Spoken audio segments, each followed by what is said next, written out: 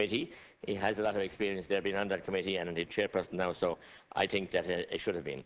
Um, good governance, as, as, has been said, has, there has to be accountability and there has to be transparency. And I want to echo what um, Deputy Pringle just said.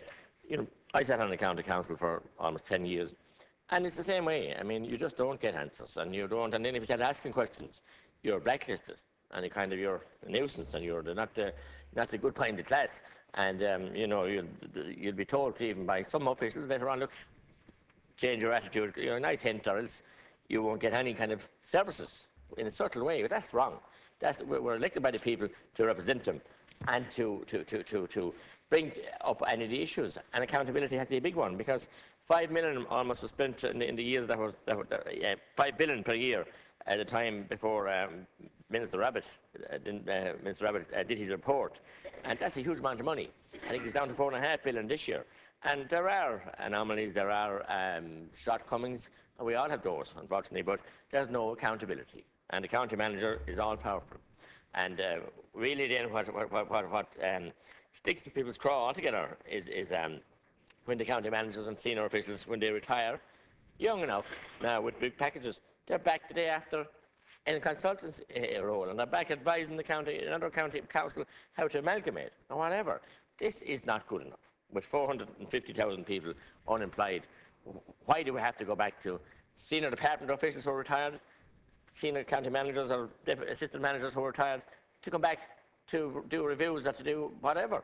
It's a gravy train, and it's not good enough, and, and, and, it should be it should be outed, and it has to be outed because thousands of people well qualified in the country to deal with those issues.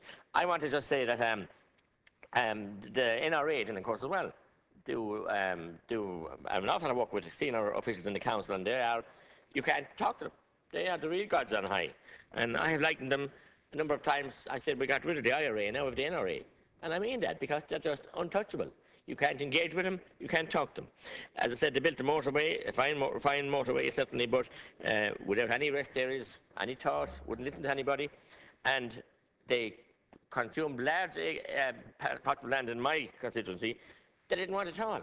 And we're damned now, year in, year out, with, um, I won't call them travellers or not, they're, they're, seasonal traders who come along and destroy, upset everybody because they took acres and acres that they never needed.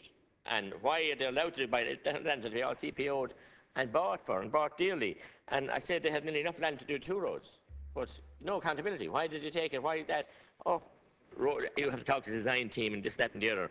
There is a problem. Anyone travelling from Dublin to Cork now will know there's a problem with part of the motorway um, just on the border of Tipperary and Limerick, and I have asked What's the problem? It's, closed, one lane is closed at the moment, and the repair works. And what's the problem? I was told it was drainage, and I was told it was surface, and we don't know. I mean, that road, and I said, who's going to pay for it? Because that road was built by a contractor, a fine job, uh, delivered on time and under budget. So is there a guarantee, and will the county council have to pay for it, or who has to pay for it? And it, should be a, it, should, it shouldn't be a matter of guesswork, and you're trying to fi find out. Go on to the water where Minister Hogan is, you know, household char uh, water charges and septic tank issues, whatever else.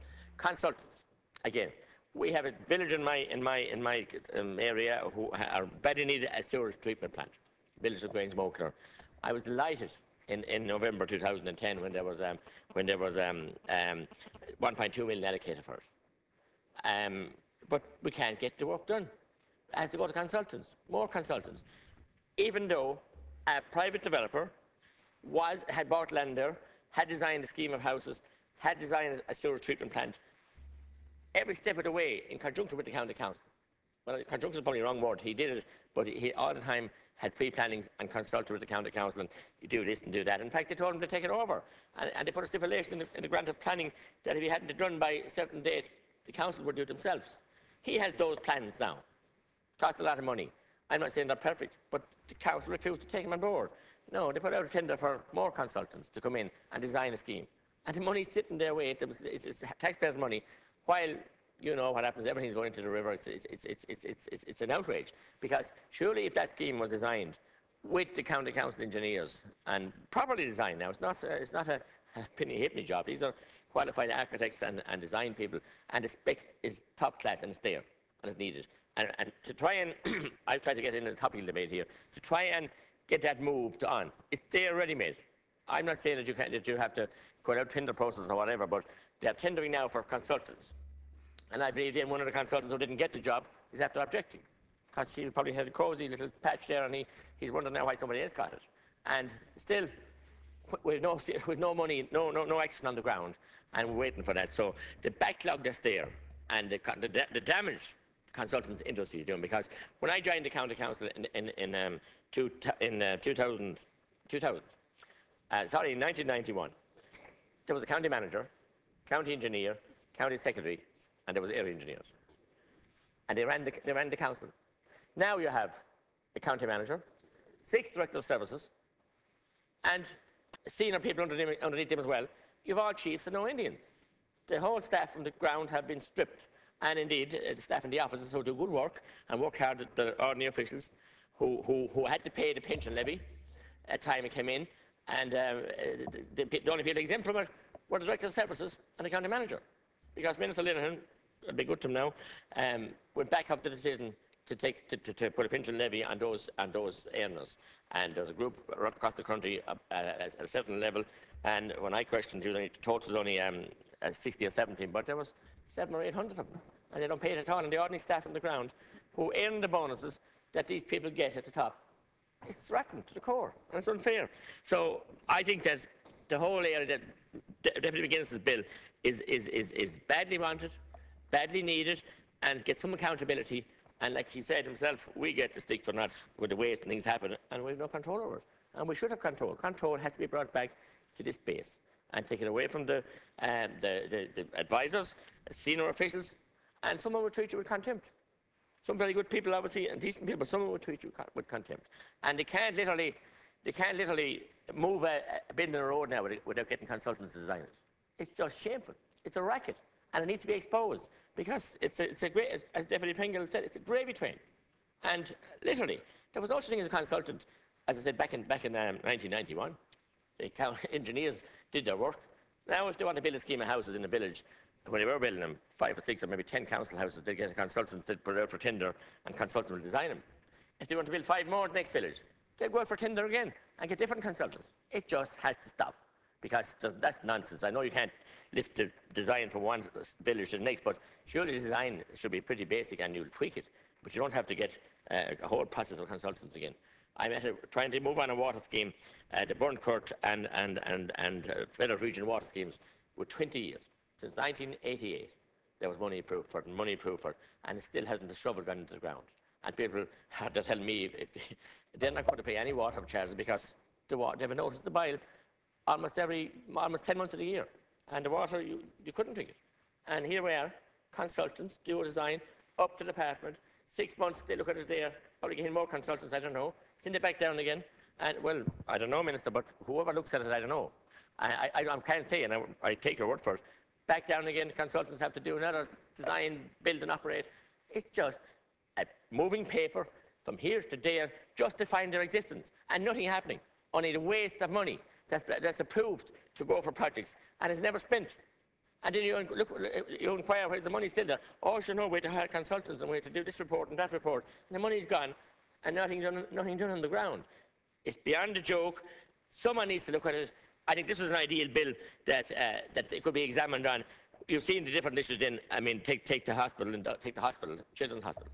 How anyone could spend that kind of money and how the consultants or whoever design people could go to that far with design without knowing that they're going to get knocked back. Because there's such a thing as pre-planning. For any kind of, you're building a house, you're encouraged to, you're encouraged to do pre-planning. And how they could spend that kind, waste that kind of money, no, to carry on with a project, the height it was, and I only know from what I read about it, knowing that it wasn't going to get passed. And all the money gone. Well, it's beggars belief. So that they didn't cop on. it. Can we not get some kind of a, um, an indicative reply from the, from the board panel or whatever, council, Dublin council officials, that this won't do. But no, it's grand. We're all on, we'll design it. And, and the same, and I was still talking about looking for sites and everything else. And it just goes on in every county, and it goes on in every every every every uh, town council again. I didn't, uh, and there's no no accountability. I didn't, uh, and I'll sit down after this, um, Chairman. I had an incident uh, two years ago uh, where I sent out a number of texts wishing people Happy New Year. I got a most obnoxious text back from a, a town clerk, and I, I, brought it to the county, man, the county, the town manager. And he said, "What do you expect me to do it?" It was a threat. I said, you his boss. Hey, just told me to go away. There's no accountability. No accountability. And, and that's happening. And at the time I was in this house, not a member, but, I'm still, as I said, we have, a, we, have a working relationship with the county councils and we have to have it. So I believe this uh, piece of legislation is timely, long overdue, and I'm disappointed, Minister, that you didn't just take it and for us all its defects and whatever, and send it to committee where we add and delete and discuss it. And you have your officials then, department officials can deal with it and whatever, because, as I said, member, ordinary members here don't have any resources to research these bills, only what they have themselves and their, uh, their PA and their secretary, and um, so maybe voluntary help. And we're not able to match what is in the department, but sometimes I think we nearly could, because there's common sense where we're concerned a lot of the time, and the common sense seems to uh, get very uh, phased and very, very, very um, convoluted when it goes into these and we have to get into consultants. So it's time to cry halt to the consultants. Uh, uh, another issue in Tipperary where a road was being done after 40 years waiting to get it done and 120,000 spent on it. Fine job. Night's rain came, the whole lot was gone. And big investigation to find out what was the cause of this. And they came back with a report saying that it could have been the chips, the tire chips were dirty, could have been the, the tire wasn't the right temperature, or it could have been the, the, the wet mix wasn't the right uh, temperature or quality either, and it could have been the mechanical operator of the machine. And then go away, be asking any more questions. I mean, after all that, someone had to take responsibility for these issues. And just, it's not because uh, had, the road had to be done, redone again the next year. That meant that other roads in, in the line to be done had to wait even longer.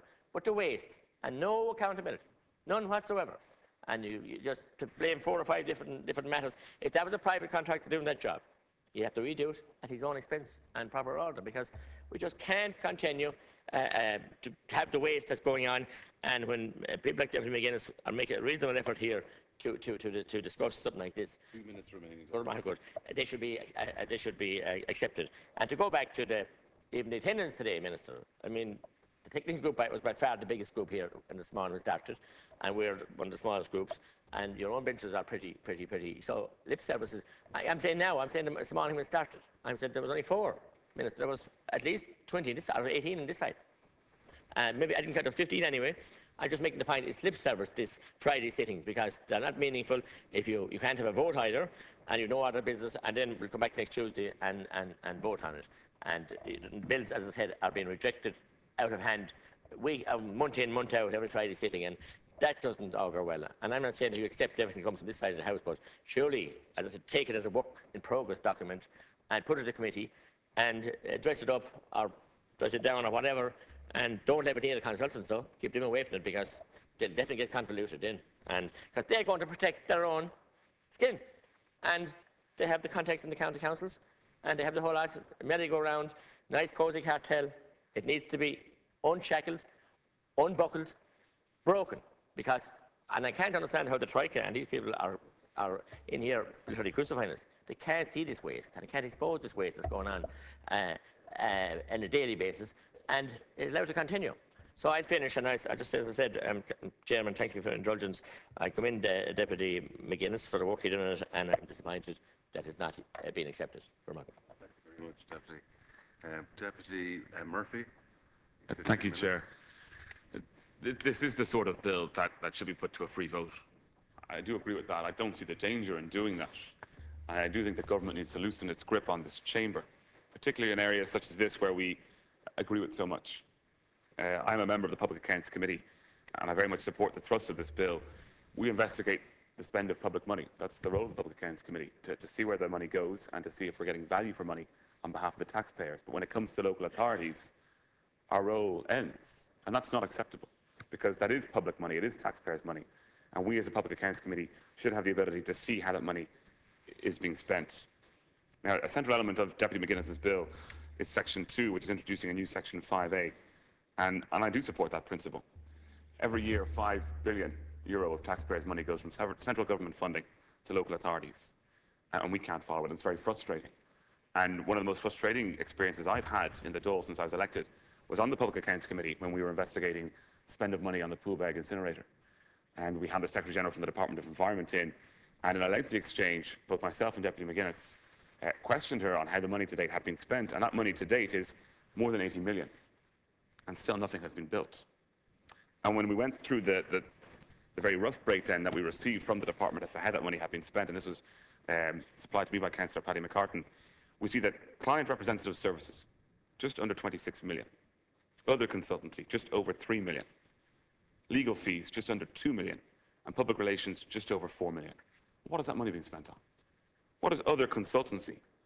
At 3.3 million, what is that? What are client representative services at just under 26 million? And then again, public relations at just over 4 million for something that hasn't even been built. And when we quizzed the Secretary General on how that money had been spent, we got no answers. 43.7 million has been spent on land acquisition for that project.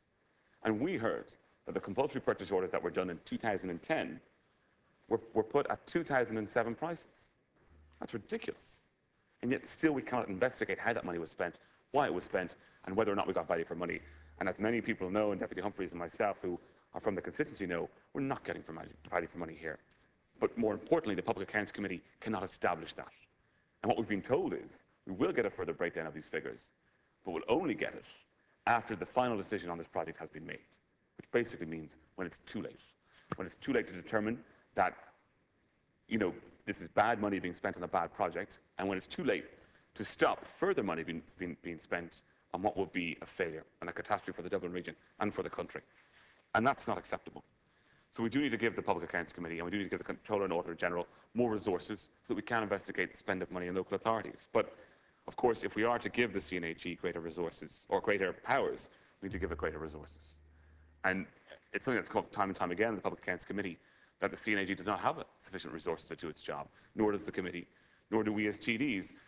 People expect more from us at the moment as elected representatives. They expect more from their DAW and they expect more from their committees in government. And that is right. We are in a time of crisis. We have a lot more work to do. But we are doing it at a time when our resources and the money that we can spend and the people that we have working in government is reduced. And it is creating difficulties. And we are encountering those difficulties week in, week out on the PAC. Yes, we need to, to make savings, and yes, there are huge savings to be made, particularly in this House. But are we making the correct savings? I'm not sure that we are. And that's something that does need to be looked at again and in a lot more detail. Because we are spreading our resources too thin. And we look at the Friday sittings, for example. People complained that we weren't sitting enough and that we weren't doing enough. So we decided that we would sit for one extra day a month. And now they're complaining because it costs too much. And the government needs to be above that kind of rubbish. I myself have had two bills published, and we haven't had a chance to debate them because we only take one Friday a month, and we only discuss one bill. And that needs to change as well. There's no reason why we could not be debating three bills today. The houses are open, people are working, the lights are on, the heating is on.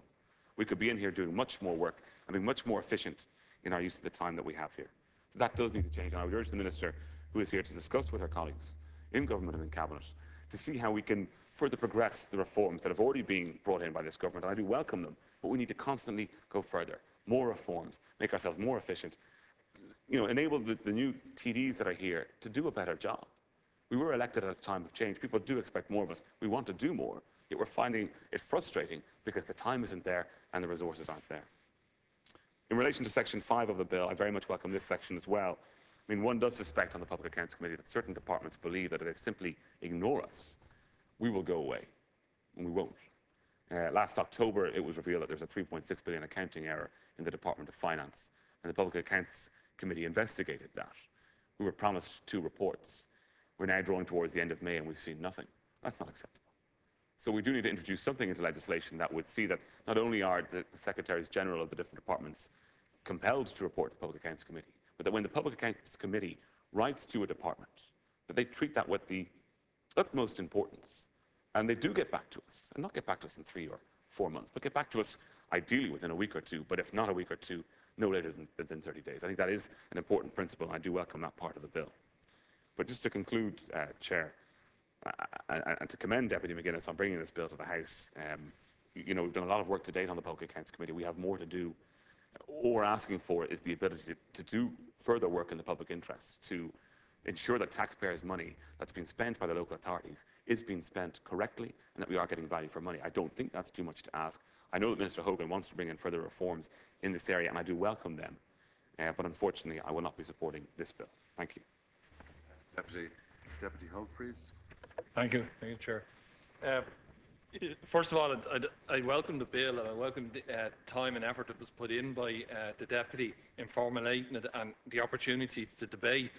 Uh, It wasn't my intention uh, this morning coming down to actually to- to discuss or contribute to the bill, but listening to uh, Deputy Murphy and Deputy Pringle and Deputy McGrath, it brings home more and more uh, the accountability of local government and the county manager or the city manager and the power of local government. Uh, Deputy Murphy brought up the element of the Poolbeg Peninsula and the 81 million that was spent there, and I, I watched with interest the Public Accounts Committee uh, when the Secretary General was in at the committee and, and, and the weakness of the response uh, uh, to that. But if, if, if you look at it carefully, and coming from a history uh, of local government, I, I was first elected onto City Council in 99. Uh, and unlike what Deputy McGrath was saying earlier on about uh, the budget and the resisting councillors getting involved, I think in an awful lot of cases the powers that local councillors have, they don't exercise. Because one of the most powerful elements that you have is actually agreeing the budget. Uh, and that's really what you, you must get in there and contribute. And this element of officials elbow, elbowing you out of the way, uh, really I would worry that if, if councillors would allow that to happen, because that's one of your fundamental powers, is the agreement of the, of the budget and holding the management and the officials to, to account. And I think we really, if, we- if, we, if we want more accountability on this 4.5 billion that's spent every year in local government, we really need to empower councillors to actually make that contribution and to hold, to hold management at a very low level accountable. Like one of the great frustrations that often is articulated to me by councillors is that you have an audit committee, yet it's laid down in legislation that an elected councillor can't chair that audit committee. They can be a member of the audit committee, but they can't chair the audit committee and steer it in the direction of the elements that they wish to audit it. And that, that has always come up as a frustration. But fundamentally, and I- I'll come back to, to the, the element of the money that was spent in the Poolbeg Peninsula, the 81 million, and, and you know, money is being spent every month, every week on that project. And there isn't the power for the local council to actually stop it. We need to look at the powers that are being assigned to management. We must enhance the powers of local councillors. We must move the management and stop move the word as a manager of a local authority to the CEO, and they're accountable and answerable. So what, fundamentally, what I'm asking the minister is actually to speed up the reform of local government, actually not to take any more powers away from local authorities, but to enhance the powers that they have, to enhance the powers of councillors to hold management to account, to hold management to account for every uh, euro they spend, not like what Deputy Pringle has said that happened in Donegal. And, and I, I actually worry that it was only one single councillor that was articulating the, uh, the amount of money that has been spent on, on a consultant about reorganising management. You know, and I, and I, I worry uh, what the other councillors were actually doing.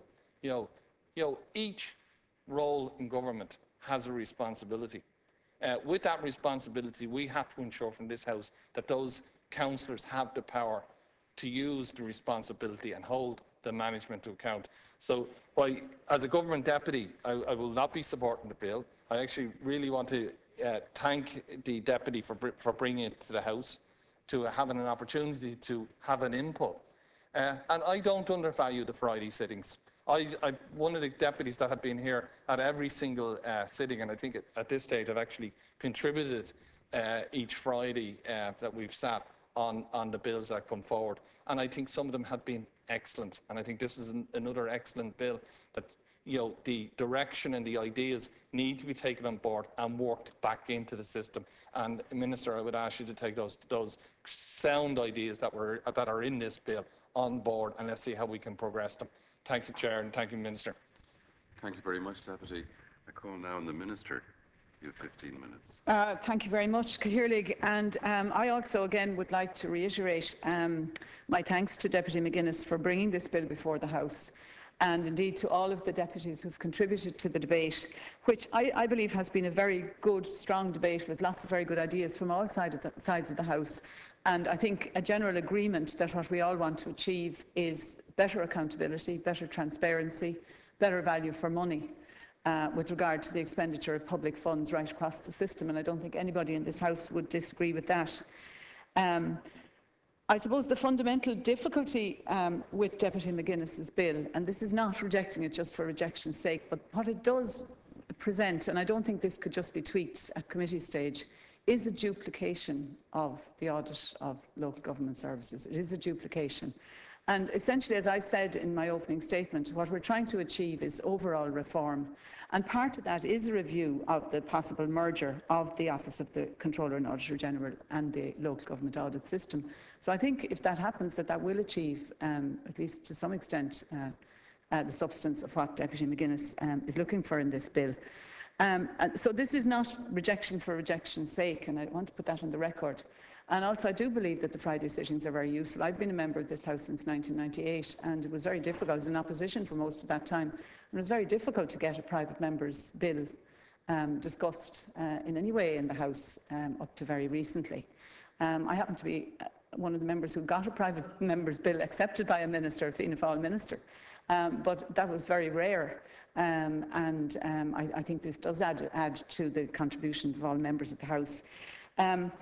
I suppose I'm also somewhat concerned at um, some of what's arisen here, where there seems to be a feeling that, that local councillors um, can't scrutinise um, effectively, and I think Deputy, Deputy Humphreys has, has, just raised this concern. And the, some of people here seem to think that, you know, if it's not scrutinised by the Public Accounts Committee, that there can be no democratic scrutiny of what happens in local government. And um, I, I, I, think that's a very disturbing view, in fact.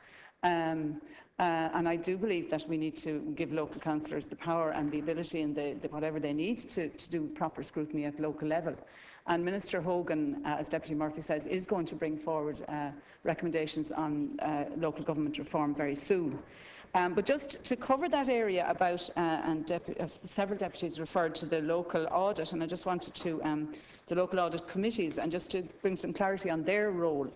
Um, local audit committees, um, they do add real value to corporate governments and local government. They normally comprise five members, three external members, including the chairperson, as Deputy Humphreys has, has said, it's not a councillor, and two councillors. They carry out their functions under a formal charter and are approved by the members. They also prepare annual reports of their work for consideration by the full council and their oversight functions are to review the Council's financial and budgetary reporting practices and procedures, to foster the development of best practice in the internal audit function, including approval of the annual internal audit work plan and monitoring its delivery, request special reports for internal audit as considered appropriate, review local government auditors' reports and monitor follow-up actions, assess and promote value for money efficiency in the Council, consider whether processes are in place to manage risk effectively in accordance with organisational guidelines and business plans.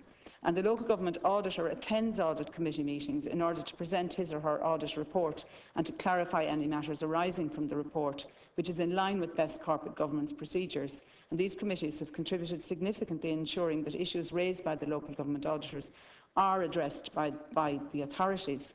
So um, I think you know, it's important that we understand the role of, of that audit committee. Um, and I mean, I would be quite disturbed at some of the contributions, uh, Deputy McGrath and, and Deputy Pringle and others, suggesting that somehow or other local councillors you know, can't question the manager or can't, can't raise these kinds of issues at local level. Um, I think it does point to you know, something wrong with our local democracy if that's the case. And that's something that has to be addressed.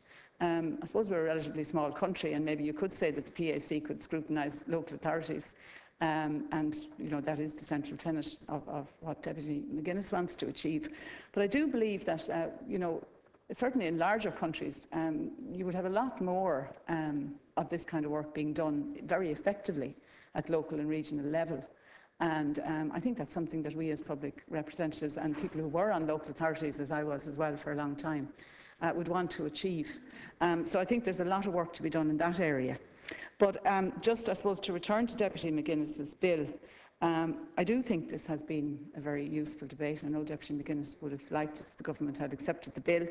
Um, and I do think that um, you know, the, the, issues raised are very important issues and ones that need to be addressed. But I do want to reiterate again that um, essentially there is duplication in the, in the course being uh, recommended by Deputy McGuinness. and um, again to reiterate the government's intention to pursue a, a- reform agenda that um, is central, uh, the central tenets of which are value for money, transparency, accountability, and to ensure, uh, particularly at this time of, of the state's finances, that, uh, that no money goes astray, that we spend it wisely, and that it is scrutinised effectively at all levels of government. Garmagh. Sir, I now call on Deputy McGuinness. You have 15 minutes. Deputy. Uh, Count Court, I firstly want to thank all of the speakers, those that spoke uh, in favour of the bill and those that spoke against the bill. I think that that type of exchange uh, is a healthy one and it can often result in a better bill uh, being, um, I suppose, decided on uh, by the House. I'm not disappointed for myself in relation to the fact that the government didn't take this bill. I'm disappointed for the members of the Public Accounts Committee who have time and time again expressed their interest and their support in achieving what is contained in that bill. Not in their interest, but in the interest of good governance. That is what they wanted to do. They simply wanted to do their job and extend their remit to cover local government, audit, and so on. They wanted to, to, to ask the minister, would he insist that accounting officers would have to respond to our requests or letters or correspondence or queries within 30 days? We simply asked that an annual report would be debated by this House so that we could, on a yearly basis, remind every accounting officer and every citizen that the Public Accounts Committee is doing its best on behalf of the people it represents and determined to achieve value for money in every respect of the spend of the state. They're hard-earned taxes that we collect, and yet we seem to have, don't have the bottle to ensure that they're spent correctly in the interest of the people that we serve. That is the disappointing part of this. You promised in government, and not being political about this, that this would happen. That this would happen. And I have to say to you, Minister, these really are not your words. I, I know you, and this speech is not your speech. And I would say to you that there is no attempt to duplicate the work. There are 140 people, professionals employed in the C&AG's office. There are 40 employed in local government. If this was a PLC, they would immediately be amalgamated to bring greater efficiency and a central effort to the work that they were doing. That's what would happen. That's what Ireland is doing outside the walls of this place. It is downsizing and is getting value for money for itself. Every business is doing it. And yet the state, on taxpayers' money, believes that what we have to, that what, what we can do is just continue business as usual. It, ca- it, can't, it can't be like that with public accounts. It can't be like that. You have heard examples of other councillors here and their view of what, what goes on. I'm not critical of councillors. I was one for 25 years. My father spent 50 years before me, or with me, on the council. I shared 25 of those years with him. I know local government, and I have rarely seen the county manager held to account. Rarely. Not because the councillors can't do it, but there's time and effort that must go into it. Similar to this bill here. I put time and effort into it. I considered what the opposition members of the Public Accounts Committee and others in this House had to say about these issues. I listened to their frustration and sometimes anger at questions that were avoided by accounting officers. Accounting officers talking down the clock, sending in replies that they promised too late, and replies that actually meant nothing to the issue, only to gain further time and hope that would be forgotten about. That's what we're dealing with on public accounts. But in spite of the bill not being taken, let me pledge to this House and to the members of the Public Accounts Committee that I will continue to do my utmost with every single accounting officer that comes before us to ensure that value for money is achieved and to ensure that we do really act as the watchdog for the taxpayer. That's a commitment that I will give. And I would ask Deputy Howlin, in relation to the request that he made, to talk again about it. I've spoken to the accounting officer from Deputy Howlin's department. I've spoken to Deputy Howlin. He knows my views on a wide range of issues. I'm not interested in talking about it anymore, honestly. I'm interested in action that needs to be taken. Not for John, Mag- John McGuinness. My name is peppered through the, the contributions that were made. This is not about me. This is about governance and about public accounts. And we're not doing our business properly at all, not by a long shot. The 5 billion that members talk about is 5 billion of taxpayers' money that goes into public accounts, directly voted from this House, that we cannot follow. We cannot follow. And I remind you of this again. Let me tell you this. 2007, 5.5 billion euro went to local government. How many value for money audit reports did they do on the collective spend of that amount of money? One. 2008, 5.7 billion euro of a spend. How many audits were done? Zero. None. No value for money audits done. 2009, 5.25 billion euro of a spend. How many audits were done?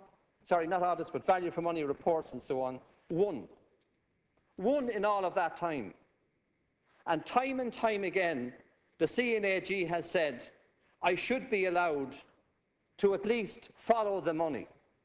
Follow the money to, to, to Poolbeg, 81 million. And what answers and clarifications did we get? None. I asked that accounting officer to ensure, out of concern for taxpayers' money and the effort that was made by the members of that committee, to ensure that she would ask the local government audit team to investigate the 81 million and then to report to the, CN, to the Public Accounts Committee. I was told that she would have to ask for that report for herself first. And then it will be at her discretion to make it available to the C&AG and thereafter the Public Accounts Committee. Where is accountability there? Where is democracy there? Where is the interest in the citizen there? It just isn't. It is business as usual. Maybe not for you, but certainly for the civil servants and the accounting officers that I meet. And it cannot be tolerated anymore. There is too much waste and inefficiency.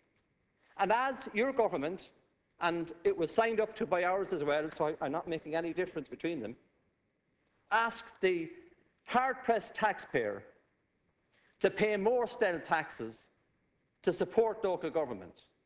We simply refuse to look at the efficiency of the spend with the local government to see could savings be achieved there first before we put the boot in to those that we represent. And that's not good enough anymore because everyone has to do more for less, we're told. I'll sign up to that. But I'm asking everyone within the service here to sign up to it. Because it's appalling what is happening and it's not acceptable anymore. And I commend Deputy Murphy for his contribution. He is one of the newer members on the Public Accounts Committee who diligently goes through his work every single week, presents out of his own sweat, his own approach to questions, his own analysis of the spend, and shows neither fear nor favour in relation to those that he's questioning, because he's working in the interest of the taxpayer. His contribution this morning was accurate. It was non-political. And I said that we should have a free vote in this House on this issue, because it's not about politics. It's about the spend of taxpayers' money and us uh, acting properly as watchdogs for the taxpayer. And I would say to Deputy Murphy and the other newer, younger members on that committee, do not be disappointed by the fact that the bill was refused. Do not be frustrated or angry by it, because as I wrote in the book, the House always wins. But neither be put off by it and approach it in a determined fashion, the reform that is necessary in this House and on that committee. Because you are representing a new generation of politicians in this House. You are representing an electorate out there that looks in cynically at this House. And unless you continue the reform programme that you have outlined this morning, that cynicism will simply grow and we will lose respect. So a lot of that weighs on your shoulders. And I believe that you have the ability to do all of that in terms of your contribution. And I hope that you do keep up that work. And you're a member of the Fine Gael party. But that doesn't mean that you're in a Fine Gael straitjacket. The party will benefit by thinking like yours. And I believe that this system and the electorate out there will benefit also. So I, I commend you for your contribution to this debate, and I urge you uh, to continue on in it. In terms of the audit of, of local government, the 3.6 billion euro was mentioned, that fiasco that we had some time ago. Had the C&AG been able to audit that particular figure, it wouldn't have happened. But what happened after that? The Department of Finance said they were going to carry out two reports last October. We're still waiting, still waiting for those reports. But we got a perf perfectly reasonable answer from the Central Statistics Office at no cost. And it was an answer that was accurate, it was clear in what happened, it was understood, and it would have been accepted by the PAC the Department of Finance is paying consultants to carry out the report. When, in the name of God, are we going to apply some common sense to the system? Because it's frustrating everybody. Lastly, Ceann Comhairle, I want to refer to the Friday sittings. I've come up here once or twice on Friday just to see, and I've listened to the Secretary General of the House here give his report to the Public Accounts Committee. A lot of effort went into preparing that bill. A lot of consideration in terms of other members. Not for me, but for them. The reform now that's put out there by people like me is almost not about now for us. It's about preparing the way for a new style of politics, a new way of managing our affairs. And if we do that, we'll get the respect of people. I believe in debate in this House and I believe that the Friday should be used far more extensively. I think seven people addressed this House this morning on what I believe is a really important issue for the country and for accountability. The cost, I understand, is 90,000 euro for a Friday sitting. What an appalling waste of money if we continue to ignore what really needs to be done on Friday, which is proper sittings, proper reform, proper consideration of a bill. With no fear from the government side, this bill could have been sent to a committee to be dealt with. It's not duplication. It's nothing to do with that. In fact, a lot of what you said in your speech, Minister, is the view of some senior civil servant, is not a political answer. It is simply glossing over what is a really serious problem in terms of our public accounts and our approach to it. It says so much about this House, so much about this House, that this bill was refused further consideration. And I deeply regret that. Thank you. Um, I now must put the question that the bill be now read a second time. y teachtaí atá na chuine abalís níl. Síanam ghfuil búta ar an gceist. Bótáil. Um, the division uh, is therefore postponed until immediately after the order of business on Tuesday next in accordance with Standing Order 117A4. Thank you. Tá an dá ar atlog go dtí dóglog dé March a.